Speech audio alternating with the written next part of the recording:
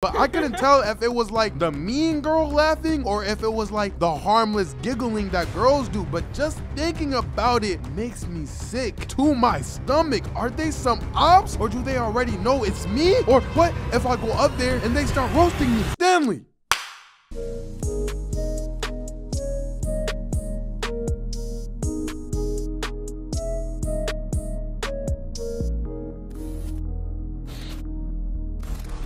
Five girls. Four of them I've never talked to a day in my life. I want to say they were all different flavors, but for some reason, I do actually remember Lauren being the only brown skin one there. This is not what I prepared for at all. If y'all remember from the last video, I folded on talking to Lauren just because there were two extra people that were there at that moment in time. Mrs. Jill, the counselor, and Ashley, the student aide. What am I supposed to do surrounded by five girls in front of the girls' bathroom. I did not prepare for this. I was up late night in my boxers practicing in front of a mirror to have a one-on-one -on -one conversation. Little do I realize I gave her the perfect ammo to get excited about nothing. I wanted a quick, hi, it's me, we should talk more conversation, but now it feels like I'd be front and center on stage trying to riz up five shorties. And I know that me being surrounded by five five girls will cause even more attention, which is what I'm trying to avoid. And you know what?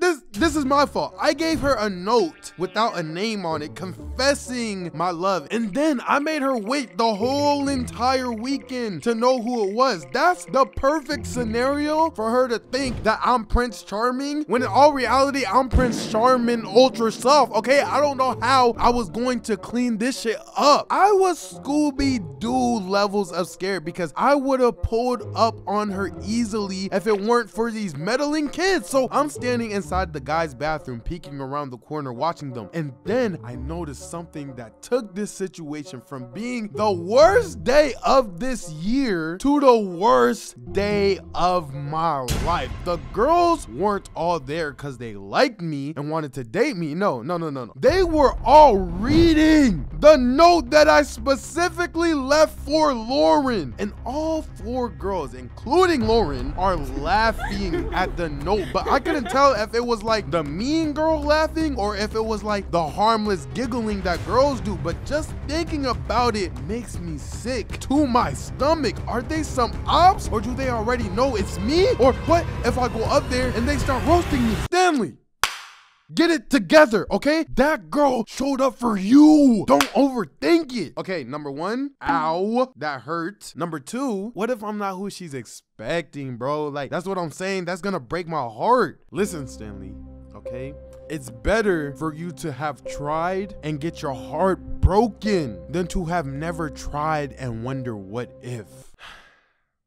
You're right. I take a deep breath. I walk outside of the bathroom, constantly repeating in my head, the worst she could say is no. The worst she could say is no. The worst she could say is no. And as I'm approaching Lauren, all five of the girls look at me. And I know for a fact it was probably one second in real time, but it felt like that scene on Haikyuu when the spiker from Shiratorizawa presence was so intense that it pushed everyone on the court into the ground. That's what them staring at me felt like. And the closer I got, the more intense this feeling got. And then when I finally got within arm's reach of Lauren, I'm looking at her face to face on some real grown man shit. I turn and walk into the cafeteria. Hey bro, say whatever y'all want. I don't care. I headed back to the breakfast line so quick. It looked like the last time I ate, it was just for practice. It looked like my last meal was the last supper. It looked like dun dun dun dun dun dun. Sebastian the Crab could use my rib cage as an instrument. That's how hungry I pretended to be. I got out of there so quick. Because think about it realistically. If you had to go up against five girls at once like Johnny Sins, you'll probably fold too. You can't even pull off a 1v5 in Valorant, 2K, Overwatch. What makes you think I have the the capabilities to pull off a 1v5 in real life, but I didn't even get to the worst part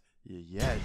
And this part, till this day, actually makes me feel bad. I saw her and the four other girls stand there for the whole breakfast period. Bro, you let her stand there the whole period? Hold on, hold on, no, no. It gets worse, okay? Every morning for the next two weeks, bro, I promise you, she would stand there with the saddest look on her face, holding the note to her chest. And as time passed, less and less girls were showing up with her until it was just her at the girl's bathroom. And I feel like the note kind of backfired. And by kind of, I mean, I feel like it backfired in its entirety because people were saying she wrote it herself for attention. But by now, I had felt so bad that I never approached her, that even when she was completely alone, I still was thinking to myself that it was probably better off if I just let the whole thing die off completely. And you know what? I'm gonna do something I don't usually do here. Usually, this would be the end of the video right here, but years later,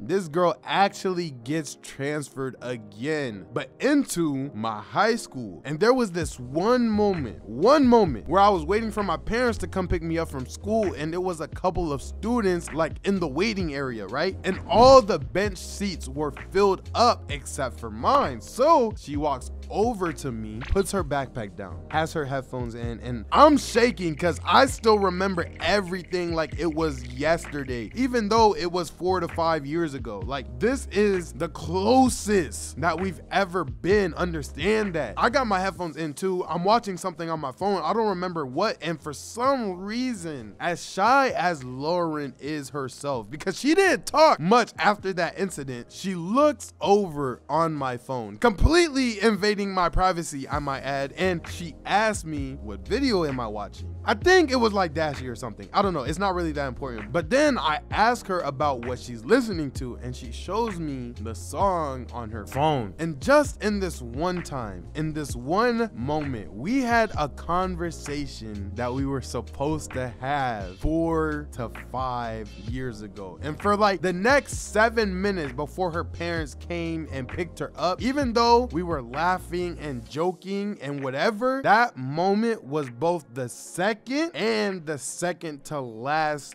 conversation we ever had with each other. And the actual last conversation we had together is, well, I'll um I'll keep that to myself. After we graduated, she went on to date this dude who was known to be on the football team, and I think they're still together to literally right now. So she's happy, I'm happy, and that is pretty much the end of what happened between me and Lauren. So I hope you guys enjoyed One Note, Five Girls.